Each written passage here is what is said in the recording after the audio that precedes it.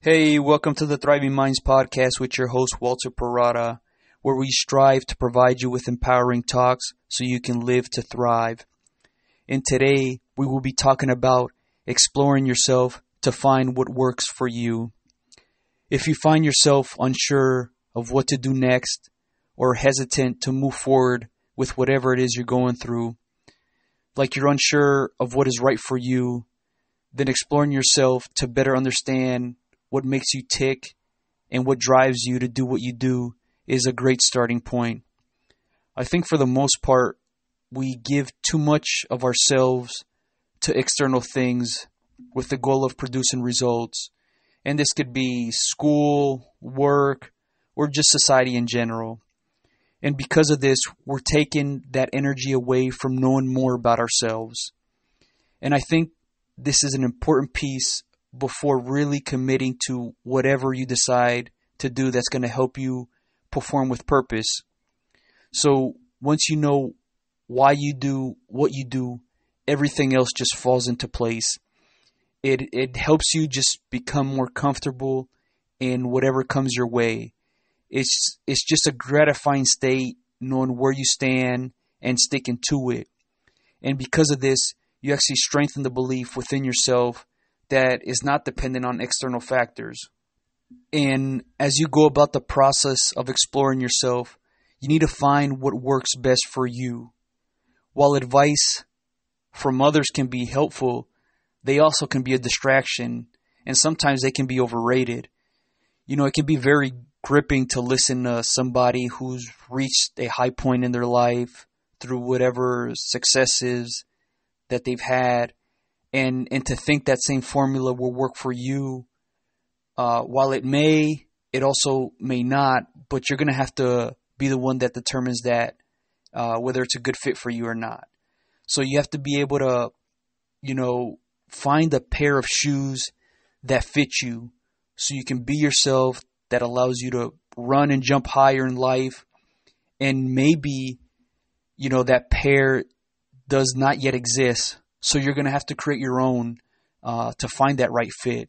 You know, so if you take Michael Jordan, for example, you know, the shoes he used within the, in, in the NBA are not going to fit a lot of people. So while his success shows his formula work for him, we all have to find uh, what formula works best for each and every one of us. And even when you find what works for you, that same formula may not be uh, applicable in the future.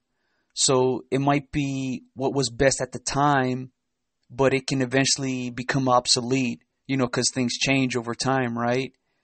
And if you think about the newspaper industry, there was a time where a physical copy of the news was a thriving industry, but as more people got access to the internet, uh, physical uh, physical copy was not as effective in delivering information. So most of the news is now de- delivered digitally. So you should constantly be trying new things, tweaking, uh, you know, make an adjustment to find what works best for you. And you want to avoid becoming too attached what's with what has worked before. So you you want to avoid being stuck in in how things work, uh, because when you do, you eventually fall into how things used to work, and when you don't get the results that you're expecting or or things to play out as you envision, eventually you become frustrated with uh, with yourself and, and even the process. So look at the small things that you can make incremental improvements to, uh, or maybe not even uh, improvements, but just little adjustments that can make a big difference into continuously uh, being innovative. So as you try these new things, you're eventually going to start developing an appetite for learning that's going to really allow you to become more adaptive uh, that makes you proactive. You're more in the driver's seat instead of reacting. Uh, you know, being the passenger of uh, the vehicle of life, right? It keeps you actually a step ahead. Uh, that gives you uh, the opportunity to to thrive. And as you're exploring yourself uh, to find what works for you, there's going to be times where you're going to be on an island by yourself. You're going to be alone, and you got to understand that's okay. You don't need to have the approval of others to tell you you're doing the right thing because they don't see things from your perspective. Uh, you're the one that has to live with yourself on a daily basis and not these other people with their opinions and their know abouts and their recommendations. So you gotta become accustomed to being on that island where you're by yourself and you're gonna have to spend time alone with yourself, with your thoughts, and just cut out the distractions to allow yourself to reflect on on all your experiences, uh, both good and bad, and, and every, everything in between. And giving yourself the time to do this allows you to work through things that too many times we get interrupted throughout the, the chaos that can be in your daily life. You know, I'm sure uh, you've had moments. I, I know I've had uh, moments where I had a just a great chain of thoughts, only for it to be interrupted by you know a small distraction enough to throw me off, and then I end up asking myself, "Hey, uh, what was that that thought I had? What was I thinking?" And and then you know eventually uh, it gnaws at me a little bit, you know, because I can't recall that same sequence of of thinking that I had, and there goes my flow state, right? If you actually look around, some of the simple things, such as you know, a ding you hear from your phone of a certain message, or the TV playing in the background that captures your attention, or it could be uh, music that you have on that changes your rhythm, and eventually, you know, your thoughts so having that quiet, alone, distraction limited time allows you uh, to really get into the flow of all that deep thinking. But once you can actually give yourself the opportunity to be alone, at times it's going to hurt to relive some of the more painful, unpleasant experiences, but you got to allow yourself to process that information because as you do, the pain that's that causes that stinging feeling uh, stings a little less and a little less and a little less. And then there's going to be important things that you pick up about yourself as you allow yourself to to reflect on these experiences that you might not have otherwise because of the constant suppressing of these memories. So if you think about many successful artists and musicians, some of their best work has come from the pain that they had felt and processed. So if you recall, you know, the song uh, Under the Bridge by the, the band Red Hot Chili Peppers actually was not meant to be a song, but was written as a poem until uh, the music producer that they were working with said, "Hey, uh, let me look at all your, your stuff you're you're working on, right?" So he he saw that poem and, and he actually encouraged them, hey, uh, this is really good content. You should really turn this into a song. Well, the, at first the pushback was uh, it was too embarrassing. It was too much to share, but this song actually resonated with a lot of people. And because of this, someone else's pain became relatable to millions of other people and it gives them time to process what they've been through. We just have to remember that these painful experiences can serve you and and sharing it with others is probably gonna uh, serve them as well too, right? It it helps to actually let down your guard of knowing you don't have to put on a front of appearing strong to others, but allowing yourself to be vulnerable so you can be more accepting of yourself. And this can give you, you know, greater comfort in your faults and weaknesses uh, to overcome some things that you might be insecure about. In the process of exploring yourself, it's going to be important. It's actually been really important to know what you like and what you don't like on a definitive basis. Not the in between, like, uh, I kind of like it, or, uh, I don't really like it, but it's okay. You know, so the things that you like is going to help you sift through the things that that you want to pursue that's going to give you more time to do whatever it is you want.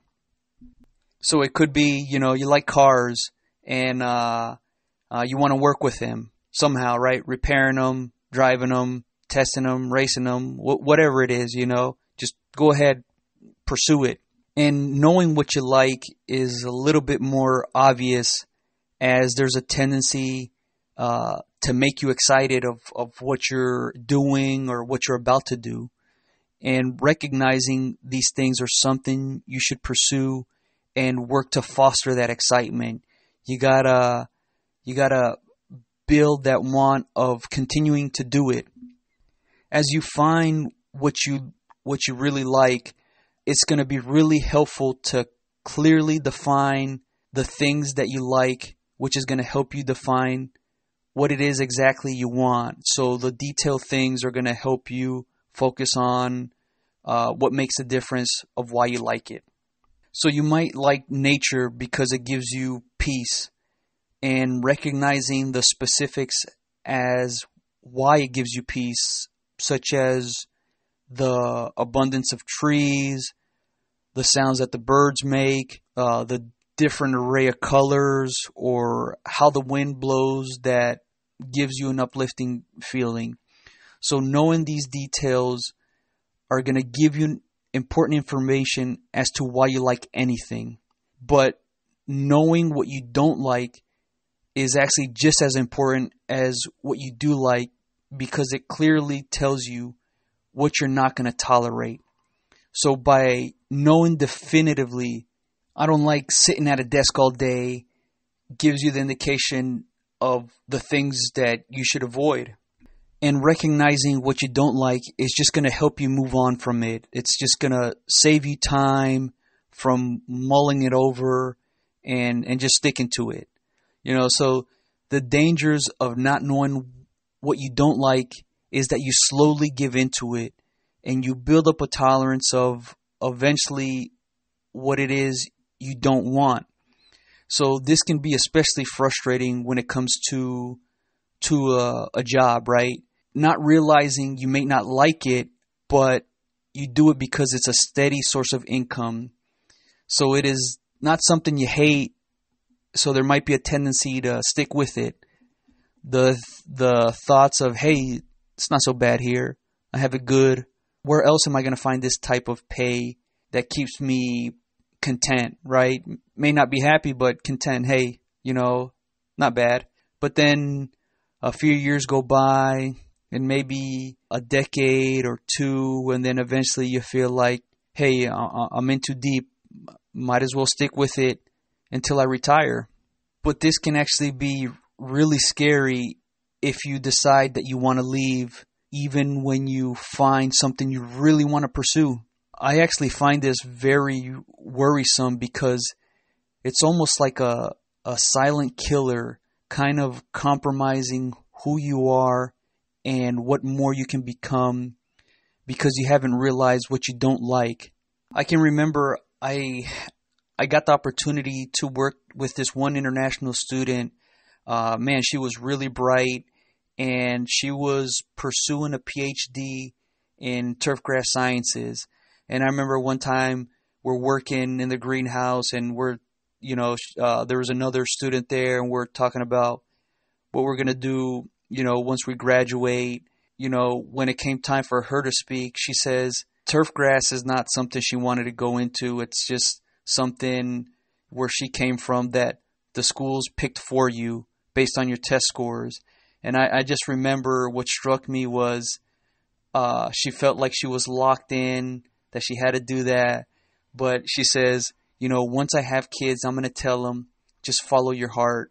And I just remember thinking, wow, it's kind of a little heartbreaking, you know. I'm not sure uh, what she ended up doing, but that that was pretty not depressing, but it, it made me feel a bit down. So pay attention to the things that you tend to tolerate and ask yourself if you really like it. If you don't, then this might be an indication that you should probably move on from it. So knowing the specifics of why you don't like something also needs to apply in this same scenario. So simply saying, I don't like it is not going to give you much information as if it was specific so you understand what to avoid exactly. So say you got bitten by a dog and the general conclusion is you don't like dogs because because of that one incident. But if you can be specific as to not liking dogs that are aggressive is to help you not put all dogs into that that one category. And knowing these details will give you important information as to why you do or don't like whatever it is that that you've uh, got to experience. So another thing to find what works for you, you know, when you explore yourself, is you al- allow yourself to be creative and not control when creativity comes about. For example, saying, "Well, I'm going to have today uh, for an hour. I'm going to be creative," you know. So by just allowing it to flow, it allows you to be yourself and to be more connected with what is possible. So sometimes we can be so consumed by what we see physically that it suppresses our creative side and only operate in a small circle of what we know. And what your creative side gives you is a world of wonder, of asking, because it piques your curiosity that gives life to your ideas.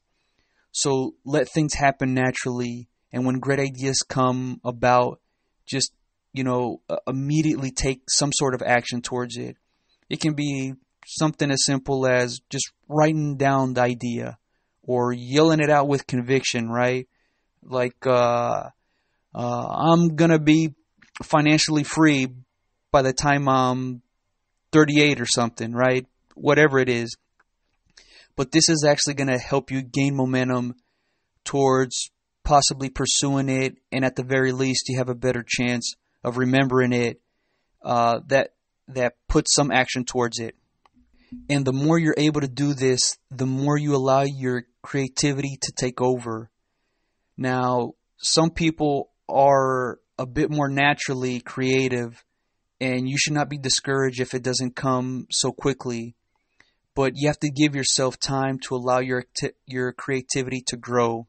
If you if you're having trouble, you know, getting your creative juices flowing, just start by firing off ideas out loud, as it's gonna just get you in, in a a nice flow state uh, that eventually uh, opens up the floodgates of your imagination uh, to just run wild. So just you know, whatever ideas you might it might seem crazy, but just you know blurted out there.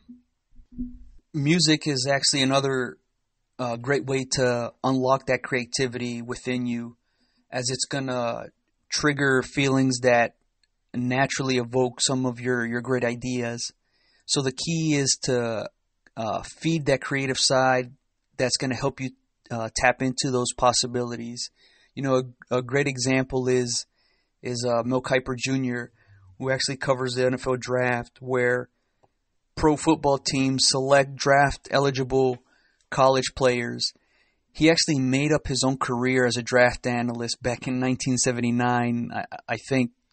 Um, and this all started from what he was interested of, of uh, following college players uh, into professional football.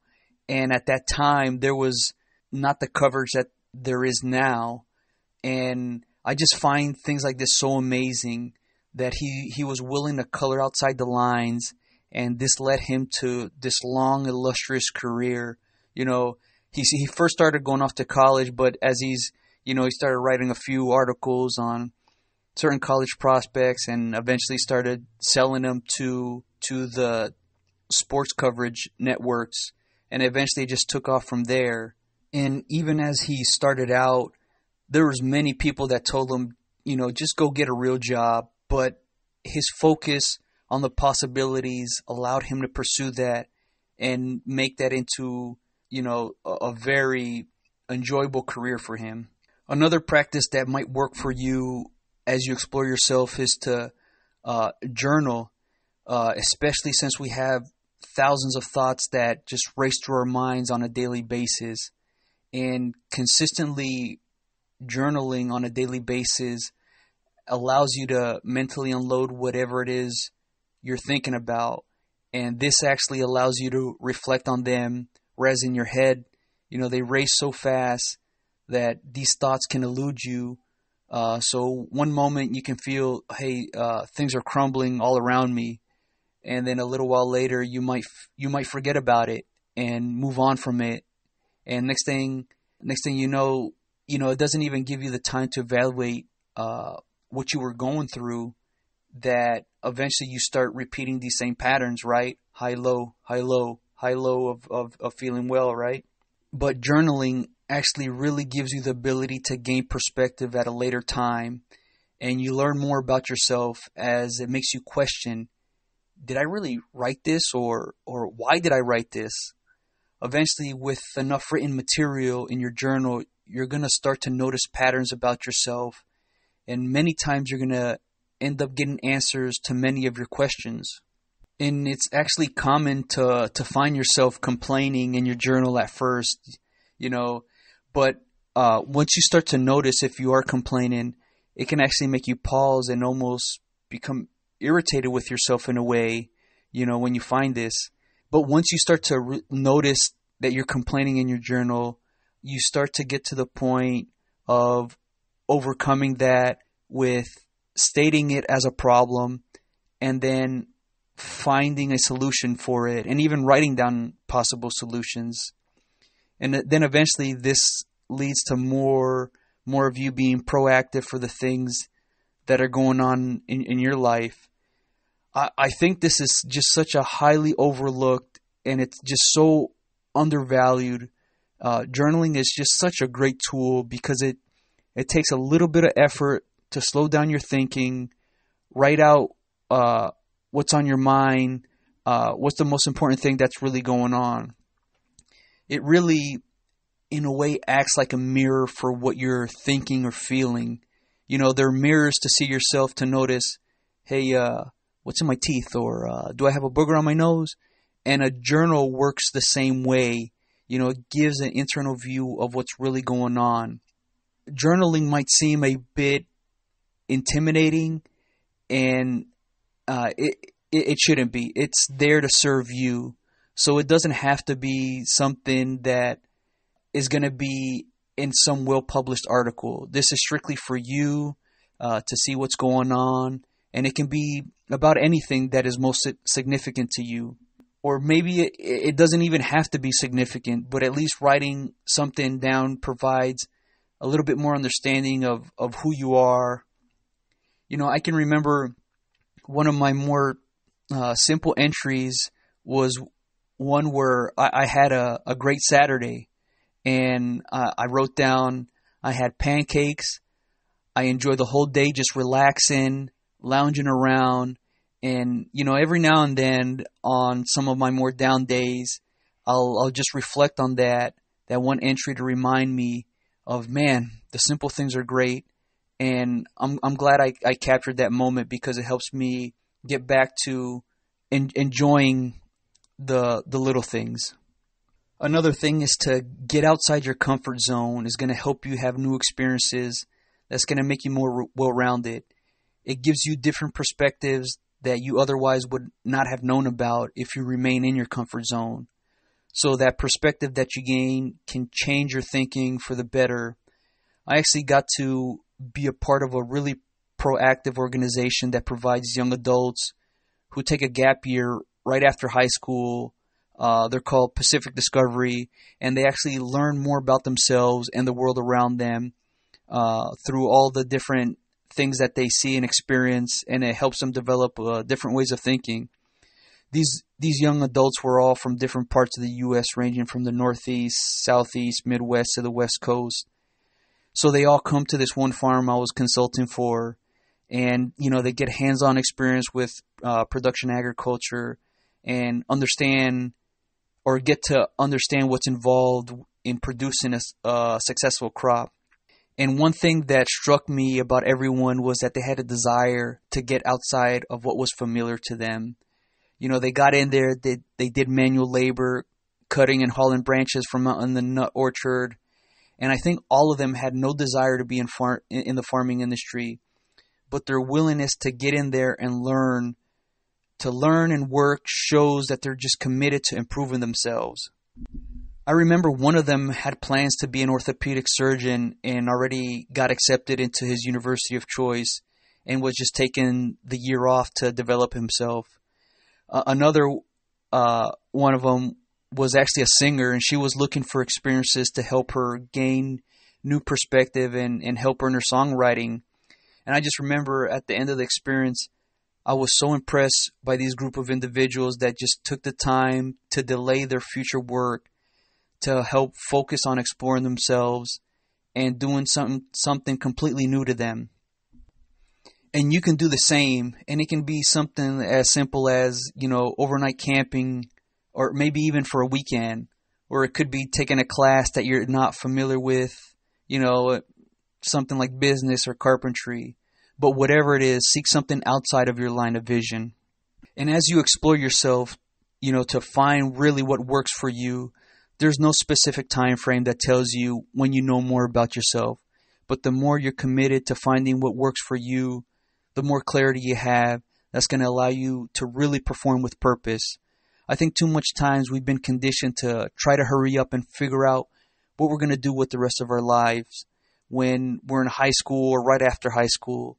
There's just such a pressure to hurry up and get to your destination when have we even asked uh, why is that my destination? You know, maybe what works for you is is the need to have multiple different things throughout your life. That you need to have completely different chapters in your life. Simply because you have a degree in a certain field doesn't mean you're regulated to remain there, or because you don't have a certain degree, it doesn't mean you can't do great things. While there may be pressure from the outside telling you or recommending what you should do, does not mean you should do it only if you feel it's going to work for you. And sometimes finding that path can be long and difficult, but just stay committed to yourself and not conform to others. Remember, somebody else's success is not going to be the same as yours, as your definition is going to differ from theirs. Take the time to define the things in your life, what you value, and what you're striving for. There is more than one right way to do things, and you should not let others dictate what that is. And if you're wrong, so what? See what you gain from it and move forward. I hope you enjoyed the podcast. If you're interested in more about exploring yourself, check out Thriving Minds live. All right. Until next time.